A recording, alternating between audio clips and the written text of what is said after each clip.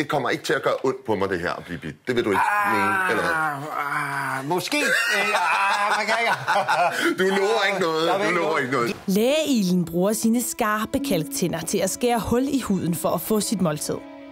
Når den suger, forøger den sin vægt 5-10 gange. Et måltid svarer til et snapseglas fyldt med blod. Generelt kan den leve et helt år på et enkelt blodmåltid. Vi prøver lige, at vi har en her, der ser god ud.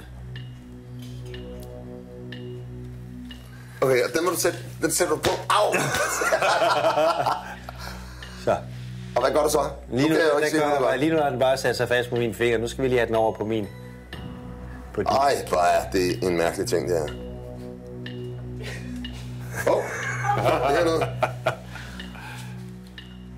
Sådan. Sådan. Sidder den? Ja, Ja. sidder. Og nu skal vi lige have... Sådan. Jeg kan ikke mærke noget. Jo, det kan jeg godt. Jo, jo, jo, jo, jo, jo. Nu bider den. Er det rigtigt? Kan du Ja, mærke ja, ja, ja, jeg kan godt mærke det. Det var meget, meget effektivt, det der, ikke? Den, den, Åh! Hvordan mærker skal- hvad, hvad gør den? Jamen altså, man mærker det, øh, sådan, faktisk som du sagde tidligere, at, at den stikker. Øj, det gør, det gør da lidt ondt, det der.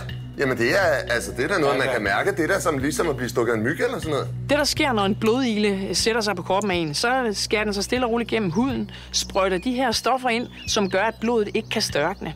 Og det vil jo sige, at den holder en i såret åbent og har fri adgang.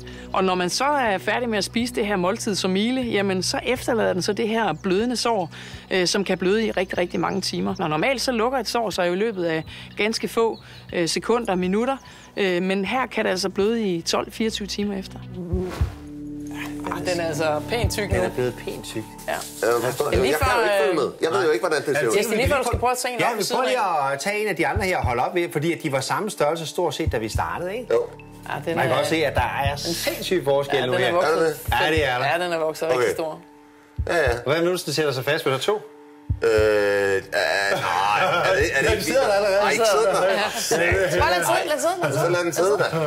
Ej. Så, nej, nu kan jeg, nu kan jeg. Ah! Ah, det var da irriterende. Ej. Sindssygt, hvor de kan Ah, man kan bare mærke, at de, ej, de, er de hurtige. Den vil jo slet ikke... Hvad gik der? Få sekunder. Ja, der, jeg har lyst til at sige nogle ord, men det må man ikke i fjernsynet. Au! Nå, jamen, øh, sådan dejligt at besøge jer to. Næsten for de knæver bare. Altså, det er som om, det er som om, at den der... Nu, se, og jeg kan også mærke, hver gang jeg gør sådan der, så har jeg bare sådan en... Åh, oh, der røg den! Der røg den! Så røg den. Åh, oh, hvor er den stor, mand! Hold! Ej, hvor er den stor. Altså, Hvad Prøv prøv lige at se, sår? hvordan såret ser ud på dig. Jamen, jeg fik se. Åh, det bløder. Det Åh, det bløder. godt. Gør det det? Ja, men jeg det har løber faktisk godt. sådan en lige et. Nu skal lige have den her af, for jeg skal ikke have flere... Ah, de der møghiler. Prøv lige at se. Prøv lige at... Jeg tør lige af her, for jeg kan se det. Så skal vi prøve at se det her, om vi kan se. Det bløder. Og det er jo så... Ej, det var meget blod. Åh, mor. Det er lidt svært at se, fordi det bløder lige med det samme. Men du har sådan en meget, meget fin liste, ligesom det er skåret med et barberblad. Sådan en lille y, Ja. der er skåret helt, helt rent. Ja. Og hvis vi lige prøver at tørre det af, så kan det være, at vi kan se det. Så prøv lige at vende over her. Jeg tror, jeg Men det bløder lige med det samme. Ja. Gør det det? Ja, det gør det. Og det er selvfølgelig, fordi ilen har puttet det der stof ind, som gør, at det ikke koagulerer. Så det vil blive ved med at bløde nu. Så er det bare lige ind bag ved øh, mundtøjet her med neglen. Ja. Så kan man kan se det her. Og så trækker jeg det lige til side, og så er nu den sluppet. Ej, så hvor jeg tage godt. den af. Og den anden her, det er bare en sugekop. Den gør ikke noget Ja, med så få den... Flå den nu af, yes. Sådan. Ågaard for Af med den. Au! Jeg synes, det gik godt.